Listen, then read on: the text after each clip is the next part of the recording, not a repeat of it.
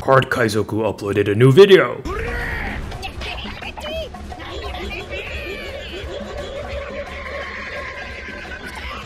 Video. Car D Kaizoku. Welcome to my latest market review. Uh, we'll be doing this one for the range of November 7th to November 17th, which was the date that my last market review left off on. And speaking of my last market review, I did mention that TCG Player updated their site and broke a lot of my automation, and I made a big deal about not feeling right having the Patreon tier available when my dashboards weren't working. But I managed to code around it and pull the data a different way, like literally the next day. So I got that resolved and squared away. So dashboard's 100% working again. So if you're interested in access to these dashboards yourself and getting the data earlier without waiting for me to make these kinds of videos, you can subscribe to my Patreon Marketeer tier, and I'll grant you access to these dashboards for you to look and peruse at your leisure. But anyway, let's jump right into the market review. So looking at movers um, for the period of November 7th to the 17th, which is also the day since the ban list was announced to be lifted in OP05 on December 8th, we see that Ace has jumped up $160. There was a period where I did remember seeing that a bunch of the aces got bought out, manga aces. Manga Sogeking also went up $75, and I do believe he is now more expensive than Manga Sabo, so he gets the justice he deserves. Altart Leader Zoro from OP01, still going up in value. Could be also due to the fact that Red gets its cards back in on December 8th, meaning that he's not dead in the water anymore. I still don't think he's going to be top tier in OP05, but he's at least like B tier competitive, like viable, but not as dominating as he is now. We do see uh, Altart Searcher Nami go back up in value now that she's announced to be unbanned on December 8th. Manga Sabo also went up $24. Basically, we just see all the manga rares continue to gain in value. Right here is Manga Shanks, right under him, $23 for this period.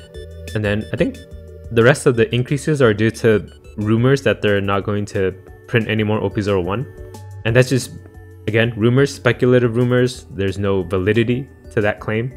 Um, but we do see the market reflect that kind of behavior. And again, I do have to warn you that, like I heard in Digimon, the same thing happened. People thought they weren't going to print the early sets anymore, and then they did later, and prices plummeted. So invest in these at your own risk. I personally am just going to wait for prices to go down. And if they don't, then oh well. Uh, I'll just wait for Power Creep to take its course and all the new cards will be better than the old cards at some point. We look by percent, we do see Ein jump up like a thousand, two hundred percent from 20 cents to $2.72. This is due in part to Starter Deck 10 Red Purple Law coming into the meta, being viable in tournaments now. Uh, Ein is a temporary card to use in his deck until we get OP05. She does help him ramp and get a body out. So I do believe that Ein will probably go back down in price once OP05 is out, but for now, she's one of the best options that Law has. And I do believe there was a Law that won an event that runs Ein, and even I run Ein in my OP04 Law list. We also see ulti page 1 go up like 350 and nearly 400% respectively. This is due to Purple Luffy coming out very very soon, and ulti page 1 is a nasty combo for the deck. Good value. It's actually always been one of the best value combos in purple. And then Vista went up 380%. That one I don't really know why. There's something that I'm not aware of affecting Vista's price. Brook is up thanks to Red Purple Law as well, and he's, again, like Ein, just a temporary option until we get better cards in OP05 for the deck. Jozu also went up. I guess there's some Whitebeard deck, or deck that runs a Whitebeard package, causing Jozu and Vista to go up. Blast Breath going up is it's just one of the best purple events. It's thinking counter for 4k. Shanks, regular Shanks went up. This could be for Red Purple Luffy. Ranu went up 87% in anticipation for Blue Black Sakazuki. Ranu is one of the best cards for the deck. Helps you fill your discard, helps you get a card, and he's usable with Houndblaze as an attacker. Then yeah, regular Searcher Nami still going up in price too since she'll be unbanned soon. This just could be a price correction. I forgot how much she costed before the ban list, but I have a tab that'll show that later, so we'll go over that. Nine Beard also went up in price three to five dollars. This could just be a correction as well. Uh, Nine Kaido went up from five to eight dollars. I think he's undervalued still. because he's a pretty key card in Purple Luffy, and I feel like $8 for a key card in the deck is pretty cheap. So I, I do expect Kaido to go up even more. And I do know they, they did like that revision pack in one of the booster boxes that um, released a lot of the non-holo, non-foil versions of this Kaido into the wild, but still a great card. Hina continues to climb in price as she's also a key card in Blue Black Sakazuki. She jumped over 100% before and now it's just another 50%. Yeah. Let's look at the decreases now for this period. So by price, the largest decreases, I expect them all to be yellow, by the way. And here we see it is indeed yellow cards, alt art 8 cost katakuri, alt art 10 mom. Regular 8 cost katakuri dropping like 13 to 20%. And these are probably just corrections because these did shoot up in price quite a bit due to the speculation on the ban list. And everyone thought that yellow would be the top deck, but it turns out they are not as dominating as everyone thought they would be. I think it's either um, Katakuri or Doflamingo or Kid right now. And I did have my eggs in the green basket. I did suspect that Film Kid or Film Doflamingo would be the top meta deck after Red gets hit with the ban list. Meanwhile, everyone thought it would just be Katakuri, but nice to know that they kind of share the dominating spot right now, and that I called it, kinda. Uh, Mihawk going down because people realizing that the Sakazuki deck next set, the strong one, stronger version, does not run this Mihawk. But the version that does run the Mihawk is still a good deck. Uh, Veg 2k counter, Altart also went down. The 10 cost Doflamingo went down, even though it is run in the Film Kid decks and Film Doflamingo decks. We may see this Green Doflamingo go up again in OP06 because they're gonna print a lot more green support wanted poster Kaido went down $5. Yeah, it's weird. This wanted poster Kaido, I think at one point it was like 25 bucks, like way early on, but it's around like 70 $80 now. Really surprised it was ever that cheap to begin with because I think even at that point in English, we knew the OP05 meta was developing in Japan where Purple Luffy was dominating in the very beginning and Kaido was a key card in that deck so it goes to show you that uh, even with future knowledge of the next meta, the English market still takes a while to adjust and catch on. So it's good to know that so it's good to know that the insights you can glean from this data can actually help you make some pretty good investments combined with knowledge of future metas. Let's look at decreases by percent. Uh, so it's starter deck 10 cards that went down, like half off, pretty much. And yeah, this is probably just due to Starter Deck 10 coming out last week and then having inflated prices because it just released. So actually, let's exclude Starter Deck 10. And then we can take a look at promo cards if you guys really want. Uh, the biggest increases for this period for promo cards is this Kobe Offline Regional 2023 winner card. Went up 400 bucks. Uh, Gordon continues to go up in price, but we do get a functional reprint of Gordon in OP06, but that's two sets away. And then again, I don't care about promo cards too much, so if you want to see this page, pause the video now. Look at decreases real quick. Serial Luffy's going down a little bit, almost 200 bucks. And we'll just move on to the next section here, movers by set. So for the period of November 7th to the 17th, we do see OP02 was the biggest increase. OP01 still increasing due to rumors of it being no longer in print. Maybe those rumors may have spread to OP02 also, but I think this is just due to Ace being bought out for some reason. Maybe just some Ace fanatic out there buying all the manga Aces. Uh, OP03 continue to going continue to go up, and then looks like most of the starter decks going up in price by a bit. Starter deck 2 went down 40 cents, starter deck 3 went down 51 cents, 10, starter deck 10 went down to the correction from their release price. Uh, and OP04, actually the only set like, to go down in price because none of the cards in OP04 really shine in OP05. But I do predict that in OP06 and then that mid set, uh, what is it called? EB01, we may see OP04 increase due to that because they're going to print future support for some of the leaders and cards from, from OP04.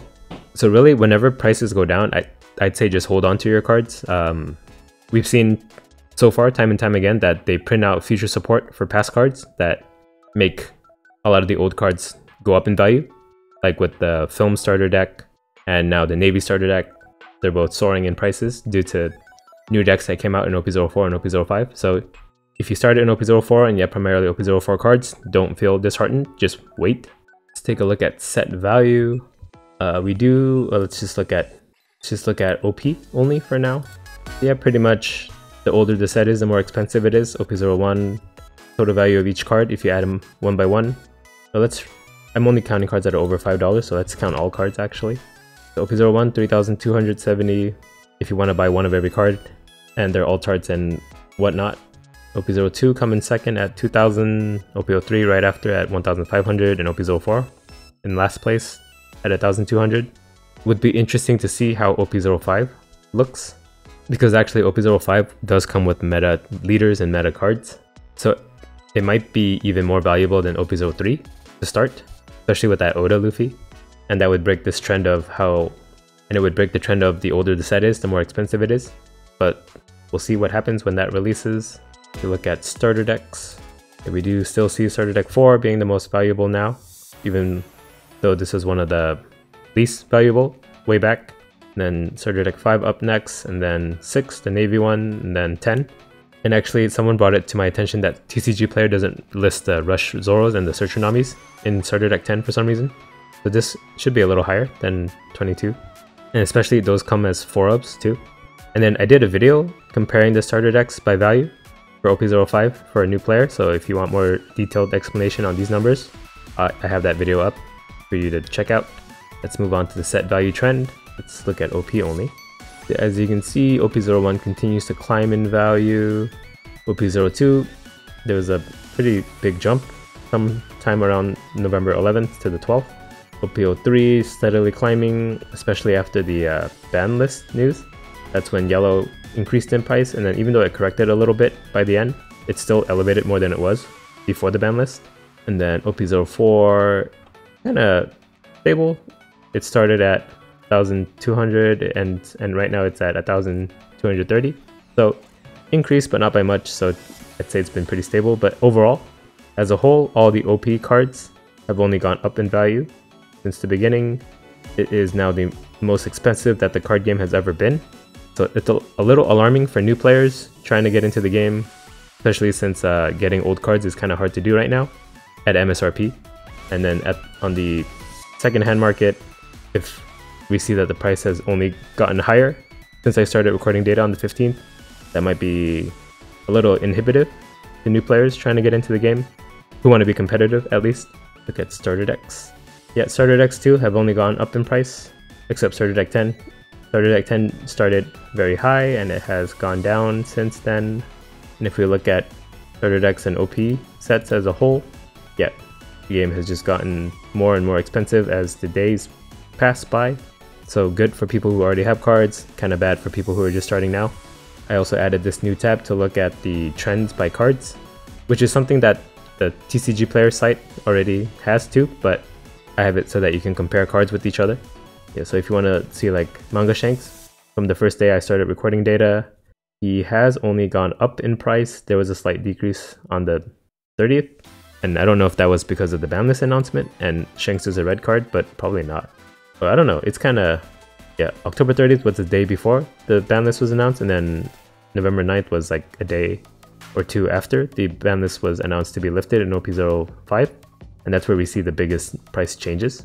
Could have been affected by that somehow. Even though Shanks is not used in the red decks that got hit. We look at Ace. Yeah, on the 11th, as we mentioned earlier, some Ace fanatic must have bought out all the aces, I guess. All the manga aces, because he did jump up like over $100. 660 to 790. That's pretty crazy. Sogeking also went up from the 7th. He started going up. And then we know Sabo also continued to went up, continued to go up. My English didn't work there for a second. He did decrease at the beginning of when I recorded this data for some reason. And if we compare them all together, we do see that Manga Sogeking has passed Sabo around the 11th. I do feel there's a little bit of justice for Sogeking, Usopp now. But they're almost back to being equal in price. What else is there to notice? Uh, if we look at cards affected by the ban list, you do see that Nami did get a pretty big drop right after. Yeah, November 1st was when the ban list was announced. She dropped to 160, and then when the ban list was announced to be lifted in OP05, that was around here, right? The 7th and the 8th. That's when she started climbing up steadily. Not steadily, like severely. Now she's more expensive than she's ever been and still climbing. We look at Leader Zoro, one of the leaders hit by the ban list. Oddly enough, he was not affected at all. Just could be that he's a fan favorite character, so the card is valuable no matter what.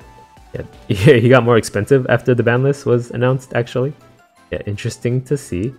Was Law affected by the news? Uh, very ever so slightly. He dropped like 4 bucks, and now he's even more expensive than he was before. We can take a look at some yellow cards too. So Altart Katakuri Leader. Uh, he was actually going down in price, and then the ban list announcement hit, and he jumped up like from 118 to like 130, 136. And then I think he won something around this time, so he jumped up even more to 140. And then since then, it has corrected a little bit, back down to 132, but still 15 bucks more than before the ban list. So cards only got more expensive thanks to the ban list announcements. Let's look at Whitebeard, who was the leader who was completely banned. He dropped from 86 to just 75, and then he's more expensive than ever now by about 5 bucks. See any other cards to note? Look at Kaido again. Wanted poster Kaido.